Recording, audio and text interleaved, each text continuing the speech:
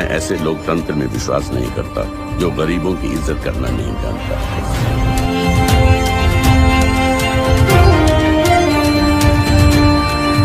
Finally दोस्तों, आज इस वीडियो में हम बात करने वाले हैं बॉलीवुड सिनेमा की one of the most much awaited upcoming movie Bastar के बारे में और जानेंगे कि क्या रहा इस मूवी से बड़ा अपडेट कब होगी यह मूवी सिनेमाघरों में रिलीज़ और तो और हमें इस मूवी में क्या कुछ खास देखने को मिलने वाला है। तो दोस्तों, पूरी जानकारी के लिए वीडियो के एंड तक ज़रूर देखना और ऐसी मूवीज़ के ढेर सारे अपडेटेड वीडियो हिंदी में देखने के लिए हमारे चैनल को अभी सब्सक्राइब करें। तो बिना किसी देरी के चलिए शुरू करते हैं। दोस्तों, पहले तो मैं आपको यह बता दूँ कि बस्तर एक अपकमिंग क्राइम ड्रामा फ़िल्म होने वाली है, जिसको अपना शानदार डायरेक्शन देते हुए नज़र आएँगे सुदीप्तो सेन, जो की द केरला स्टोरी जैसी शानदार मूवी को अपना बेहतरीन डायरेक्शन दे चुके हैं। और वहीं दोस्तों, मैं आपको बता दूँ कि इस मूवी की मेन लीड रोल में आपको देखने को मिलने वाली है बॉलीवुड की शानदार एक्ट्रेस अधा शर्मा, जिनका साथ देती हुई नज़र आएँगी राइमा सेन और यशपाल शर्मा जैसे शानदार एक्टर लेकिन वही अगर हम बात करें इस मूवी से आ रहे बड़े अपडेट की तो दोस्तों, मैं आपको बता दूँ कि इस मूवी के मेकर्स ने इस मूवी के एक नहीं, दो नहीं, बल्कि पूरे तीन पोस्टर आउट किए और ये कंफर्म कर दिया कि यह मूवी आपको सिनेमाघरों में कब देखने को मिलने वाली है। जी हाँ दोस्तों, मैं आपको बता दूँ कि मेकर्स ने ऑफिशियली कंफर्म कर दिया है कि द नक्सली स्टोरी बस्तर आपको सिनेमाघरों में देखने को मिल जाएगी इसी साल, यानी कि 2024 में, जिसे रिलीज़ कर दिया जाएगा 15 मार्च को। जी हाँ दोस्तों, यह मूवी आपको सिनेमा घरों में 15 मार्च को देखने को मिलने वाली है और बहुत ही जल्द इस मूवी के मेकर्स, इस मूवी के टीजर की भी अनाउंसमेंट करने वाले हैं। तो जैसे इस मूवी के मेकर्स, इसके टीजर की अनाउंसमेंट करते हैं, मैं आपको अपडेट कर दूँगा। और उसके लिए आपको कुछ भी नहीं करना, हमारे चैनल को कर लें सब्सक्राइब और साइड में दिया बेल आइकन ज़रूर दबाएँ। तो मिलते हैं नेक्स्ट वीडियो में नए अपडेट के साथ। तब तक के लिए बाय बाय टेक केयर